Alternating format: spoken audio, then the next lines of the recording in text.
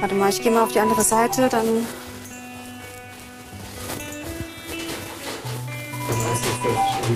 Sättigung ist bei 83. Ja, ja.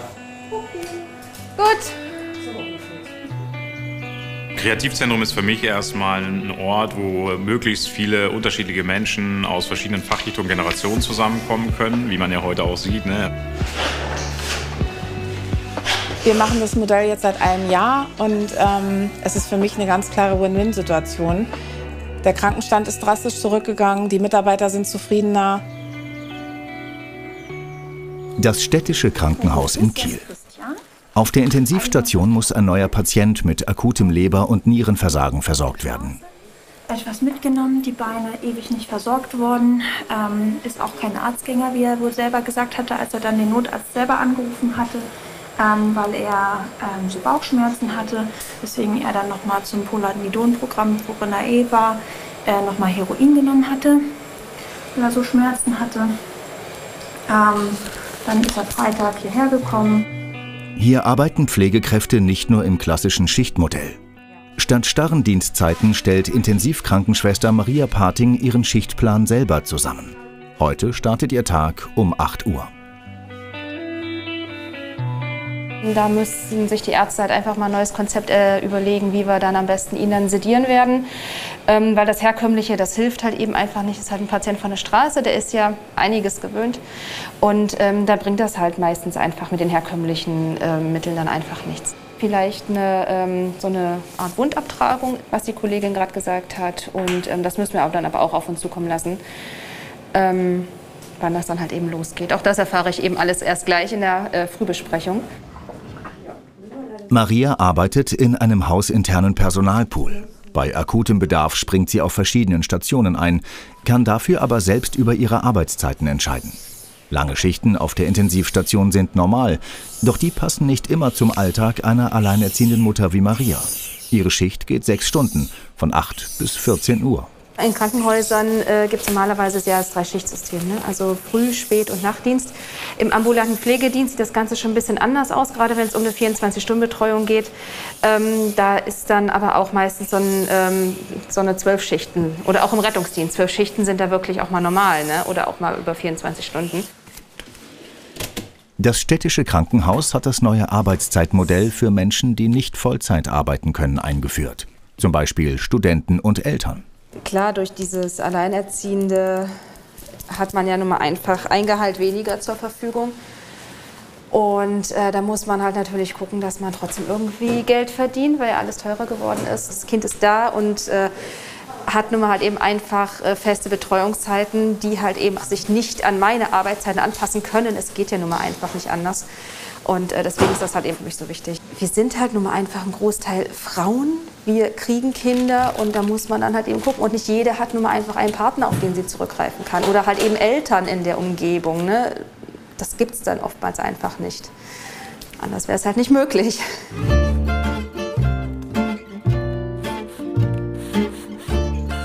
Der Alsenhof bei Itzehoe, nördlich von Hamburg. Das Konzept auf dem alten Bauernhof vereint Menschen mit verschiedenen Fähigkeiten aus verschiedenen Generationen. Nach der täglichen Arbeit geht man nicht nach Hause, sondern tüftelt gemeinsam an Projekten. Wohnt in der Gemeinschaft. Heiko Kolz ist der Geschäftsführer. Das war quasi unser altes Logo. Ähm, und wir haben so ein bisschen gemerkt, Co-Living, Co-Working, Co-Creation, das ist halt so für die Bürger hier immer nicht so ganz greifbar. Und wir haben das Ganze jetzt halt ein bisschen bunter gemacht auch und ähm, das Ganze Kreativzentrum genannt, weil sich da die Bürger halt immer ein bisschen besser was vorstellen können und eher mal neugierig sind, kreativ, was heißt denn das und was passiert hier dann. Und äh, genau, und von daher äh, baue ich jetzt vorne einmal unser neues Schild gleich an. Lägerdorf hat knapp über 2000 Einwohner. Und der Alsenhof soll der Dorfmittelpunkt werden. Anne, die Partnerin von Heiko, kümmert sich um das Marketing. Hier nicht gucken, anpacken. Warte, mein Finger. Äh, großartig. So. Äh. Dann brauchen wir zwei Muttern. Nee, du musst jetzt da stehen bleiben, du musst das festhalten. Nee. Muttern, Muttern sind zu teuer. Ich war selber als Gast hier, äh, letztes Jahr im Mai und äh, durfte den Altenhof kennenlernen äh, im Sommer, genau. Und äh, ich war mit meinem Wohnmobil da und habe äh, ja, ein paar schöne Tage hier gehabt. Und bin hier hängen geblieben, weil die Atmosphäre so schön war. Man hat einfach sich offen gefühlt. Man hat wunderschöne Menschen kennengelernt, die halt auch einfach offen gegenübergestellt haben und gesagt haben, ey, komm doch vorbei und äh, schau uns das, schau das mal an, komm mit, mach mit.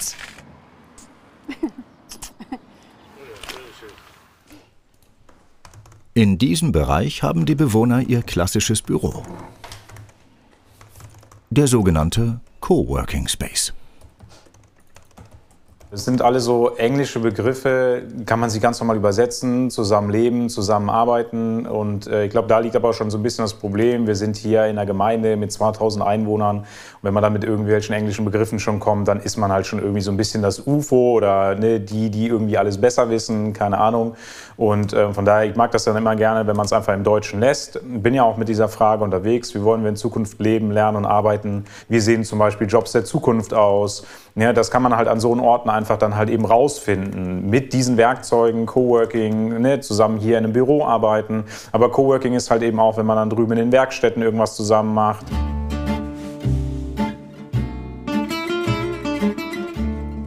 Sophie Deile ist Sonderschullehrerin und wohnt hier. Sie ist auf den Alsenhof gekommen, weil sie einen Werkraum gesucht hat. Ich mache wahnsinnig gerne Musik ähm, habe Geige gelernt und lerne jetzt aktuell Klavier. Ähm, bin aber auch handwerklich sehr interessiert und nutze natürlich Handwerk auch als Ausgleich, genauso wie die Musik. Und habe hier in diesem Projekt letztendlich die Kombination gefunden. So, und genieße sehr, dass ich beides ähm, ja, zusammenführen kann. Sophie ist seit einem Jahr Teil der Gemeinschaft auf dem Alsenhof. Also das, was richtig, richtig Schönes ist, dass ich ausprobieren kann, das voneinander lernen können und ähm, da frei zu sein auch und ähm, immer neuen, neue Ideen zu bekommen, Feedback zu bekommen.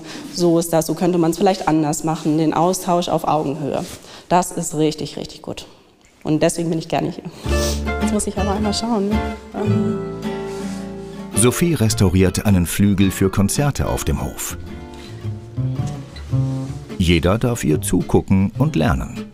Eigentlich wären Hausschuhe auch angebracht. Ich habe nun keine an, aber ähm, ja, Genau, also eine Wohlfühlatmosphäre soll es darstellen. Dass jeder willkommen ist, hier sich auch hinzusetzen. Es gibt einen extra Hocker ähm, und es kann mitgemacht werden. Also wer kommt, kann sich informieren, kann Fragen stellen, ähm, kann einfach aber auch nur da sein und die Atmosphäre genießen.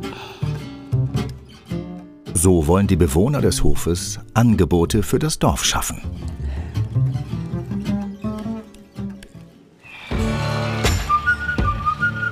Der Betrieb Die Malerin westlich von Eckernförde zeigt, New Work wird auch im Handwerk gebraucht. Noch vor einem Jahr fand Chefin Jessica Hansen keine Gesellen. Äh, die Woche vor Ostern. Ingo, Diana, Lösekan, ihr ja. wisst schon Bescheid. Jens und ähm, Sven, VET, tief. Wir kommen an, wo seid ihr? Ja. Ach da. Letztes Jahr um diese Zeit waren es ein Drittel weniger, da waren wir vier Gesellen und zwei Lehrlinge. Jetzt sind es 13 und drei Lehrlinge. Und einer hat heute Berufsschule, der ist nicht dabei.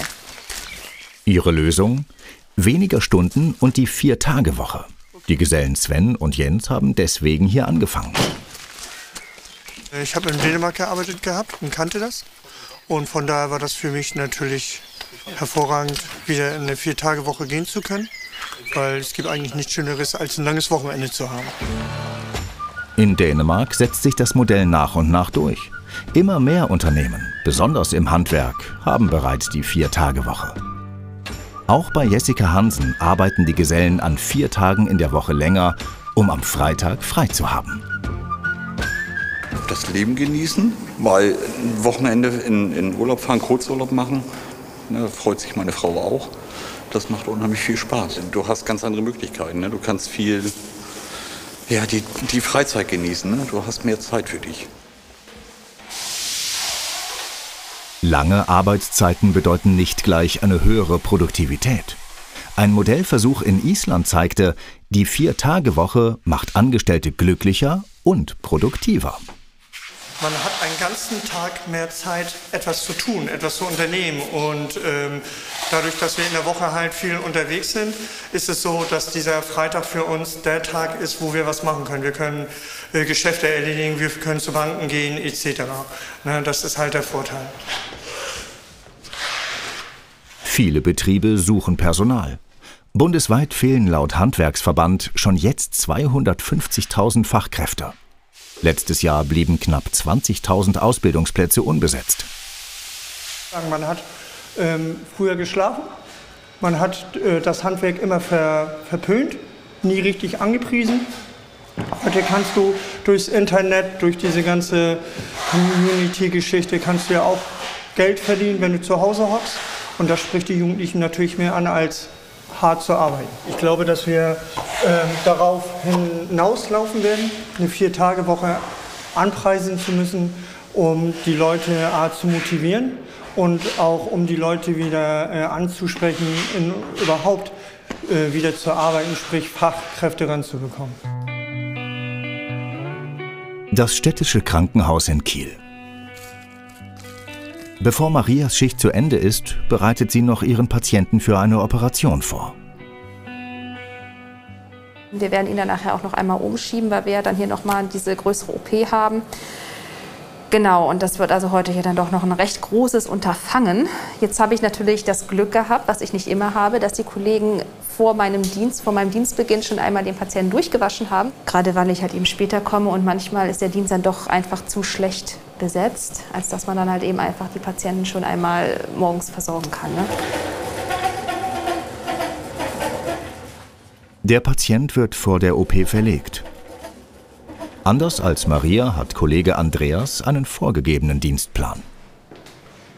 Brauchst du sonst noch Hilfe bei deinen Patienten? Nee, ich habe ja nur noch, ähm, nur noch die 12. Der ist schon gelockt und mein anderer ist ja gerade in der Dialyse. Ich weiß nicht, wann der zurückkommt. Ach so, der ist unten direkt. Dann melde ich mich sonst, ja. Andreas arbeitet in normalen 8-Stunden-Schichten. Ich bin nicht in der Situation, dass ich alleinerziehender Vater wäre, aber ähm, gerade für die äh, Kolleginnen und Kollegen, die in dieser Situation sind, die familiär anders eingebunden sind, äh, ist es ein durchaus attraktives Modell. Äh, also ich persönlich, ich stehe voll hinter der Sache. Also, ich habe über die Leitstelle herausgefunden, wer angerufen hat und habe den Anrufer angerufen. Ich dachte, er hätte angerufen. Nein, das war sein Kumpel, der Apotheker aus Okay, in der Nähe seines Wohnortes. ja. Ähm, er ist bei einem Freund untergekommen, weil er mehr obdachlos denn irgendwo gemeldet ist. Und die Beine Ja, hat er schon seit Jahren mit Desinfektionsmitteln gewickelt. selber. Okay. Diese Stellen sind schon alt, die kennt er. Aber dass sie infiziert sind, ist sicherlich nicht, nicht alt.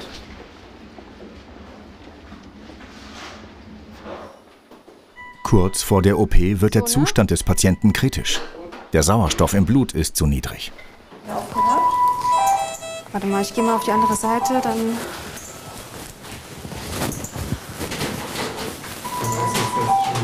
Sättigung ist bei 83. Ja, ja, wir haben hier das komische Gerät, wo man immer das umschalten muss.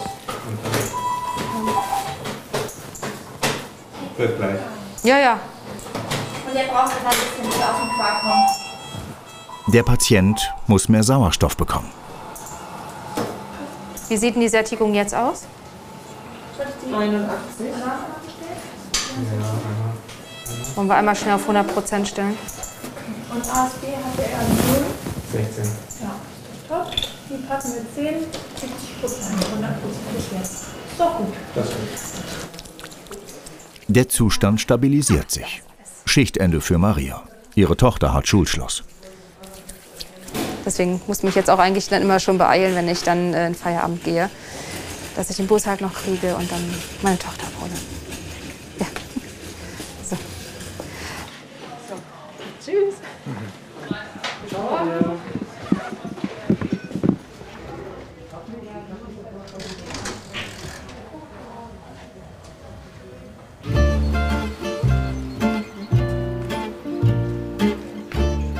Der Alsenhof nördlich von Hamburg. Habt ihr alle eine Maske mit? Ja. Sehr cool. Ja, würde ich sagen, dann fangt ihr schon mal an. Also können wir schon ganz mal rein. Nee, ihr sitzt drüben. Ihr sitzt drüben. Ach, drüben wollen wir? Ja, genau. weil Heute gibt es einen Graffiti-Kurs für Kinder aus dem Dorf.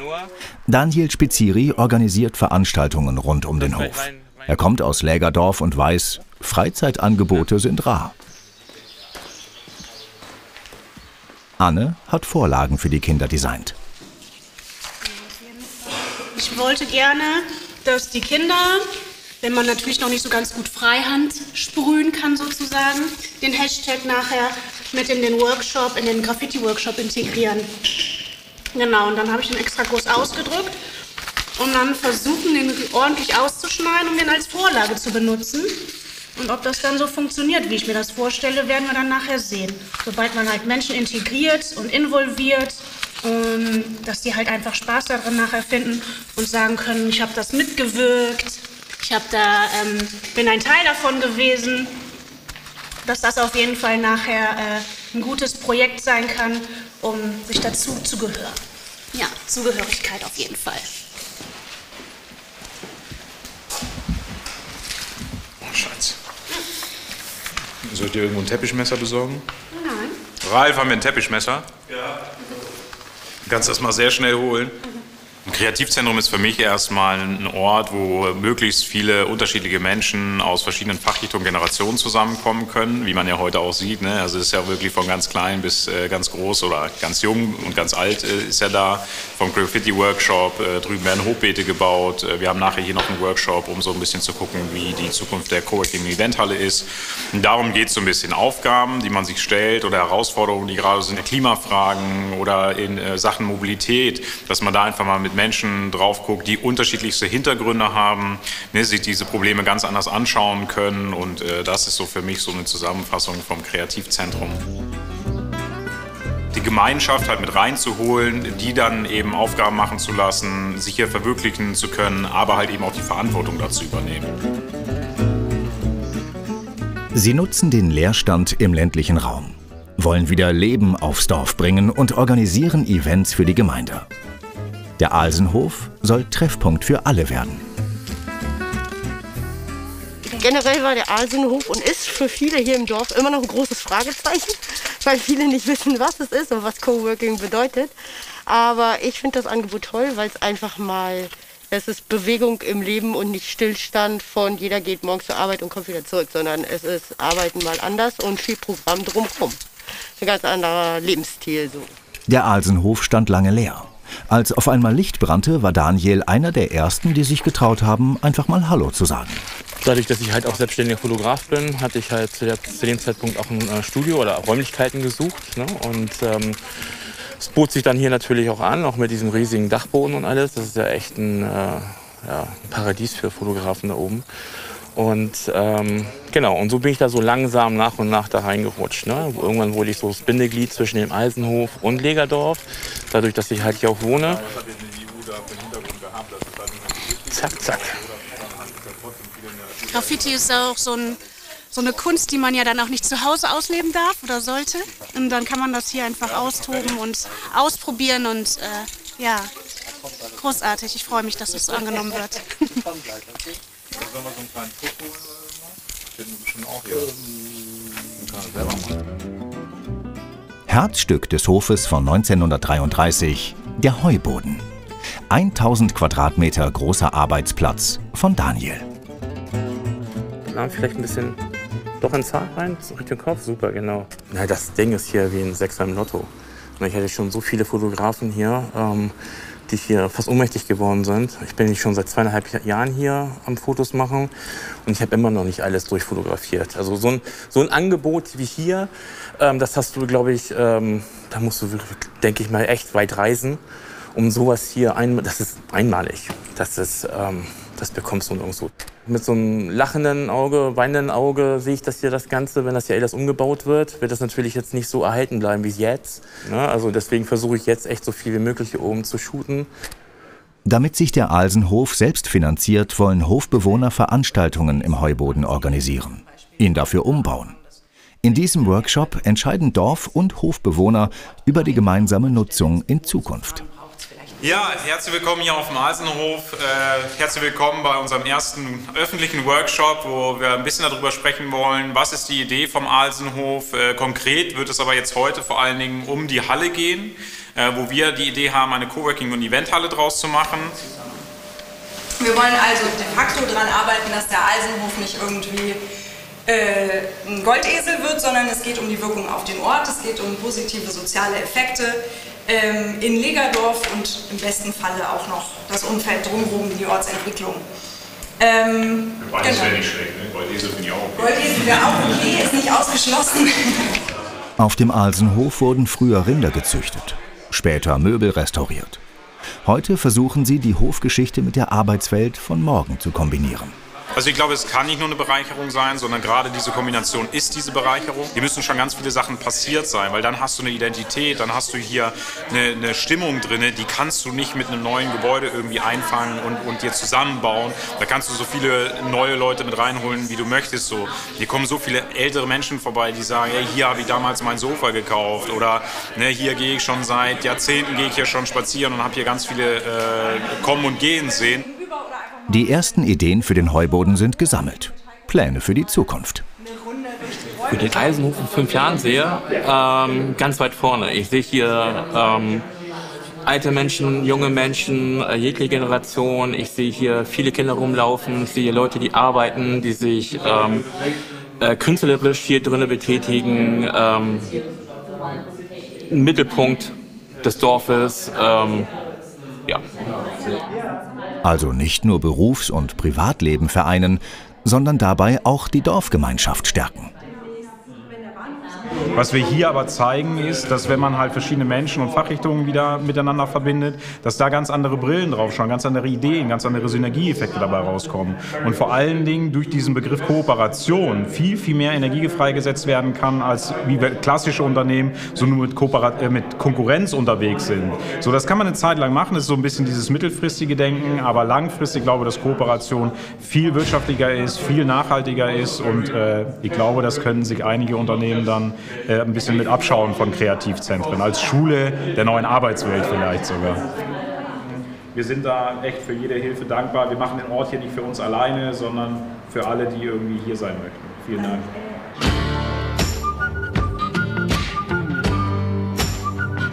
Die Malerin bei Eckernförde. Jessica Hansen wirbt noch immer online um Personal, obwohl sie das gar nicht mehr nötig hat.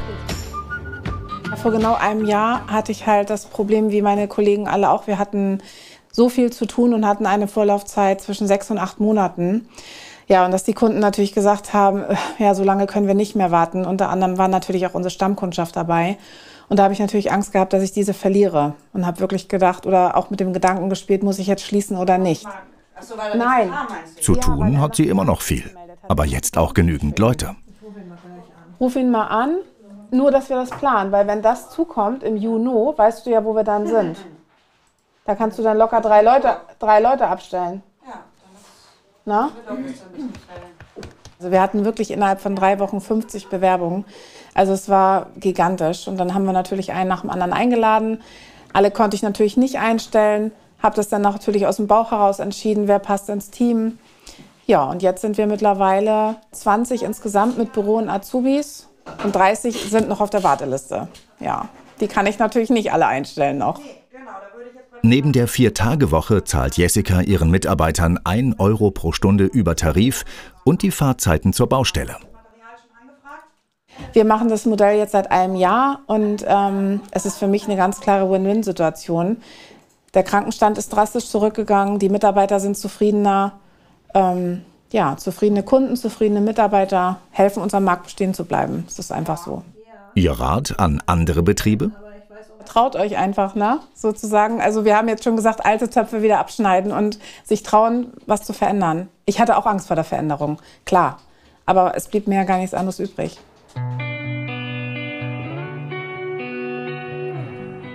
Ein neuer Tag im städtischen Krankenhaus Kiel. Die Schicht der alleinerziehenden Mutter Maria beginnt zwei Stunden später als die ihrer Kollegen. sonst könnte sie ihre sechsjährige Tochter nicht zur Schule bringen. Wir stehen ja schon relativ früh auf, eigentlich immer. Ne? Ähm, kommen ja morgen immer schwer aus dem Bett. Und ähm, dann machen wir uns immer ganz normal fertig. Immer so, dass wir natürlich ganz viel Zeit haben. Und ähm, ja, dann bringe ich sie immer ganz normal dann zur Schule. Und dann habe ich immer ungefähr noch eine Stunde Zeit, um dann hier dann zur Arbeit zu kommen. Also ist alles ganz entspannt eigentlich, wenn das alles so funktioniert mit den kleinen Kindern.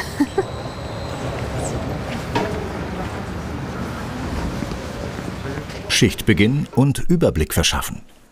Leber und Lunge ihres Patienten arbeiten nicht mehr richtig. Kritisch, ne? Schlecht, kritisch. Hat sich halt jetzt über Nacht wirklich so deutlich verschlechtert, dass wir äh, ihn einmal auf den Bauch drehen mussten. Also nicht ich, aber die Kollegin. Und ähm, normalerweise ist das immer noch mal so das letzte Mittel der Wahl, um halt zu gucken, dass äh, die Atmung dann sich halt natürlich dann stabilisiert.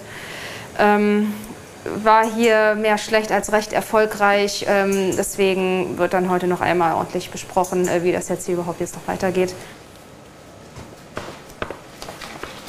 Hier die anderen Ärzte, die werden sich dann noch einmal beraten, wie jetzt hier äh, die Therapie weitergeht. Und ähm, er spricht sich auf jeden Fall für eine Therapielimitierung aus, dass wir das dann sozusagen dann hier beenden, weil die Leber jetzt halt eben auch äh, aussteigt und ähm, Arterenol ist vom 3er-Ansatz auf den 12er hochgegangen in der Nacht. Okay. Also ist alles ähm, sehr schlecht geworden. Das ist ja echt kräftig. Ja, genau. Ja, und die Atmung ist natürlich, sie, sie piept nicht umsonst die ganze Zeit. Über die sogenannte Therapielimitierung, also den Verzicht auf lebensverlängernde Maßnahmen, entscheidet der Chefarzt. Nichts Handfestes jetzt gefunden, was das erklärt, außer unsere eigene Handlung. Mhm. Versuchen wir ihn durch diese septische Episode durchzubringen. Okay, gut, ja. Ich gebe unser Bestes, ne?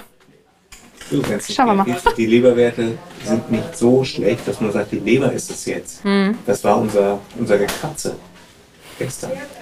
Trotz aller ärztlicher und pflegerischer Bemühungen stirbt der Patient ein paar Tage später. Ja. Ja, ja, klar muss es sein, ne? Das ist irgendwie so ein bisschen die Wahl zwischen Pest oder Cholera. Richtig. Ne? Ja, gut. Genauso hoch wie der pflegerische Aufwand auf einer Intensivstation sind die Anforderungen an die Pflegekräfte.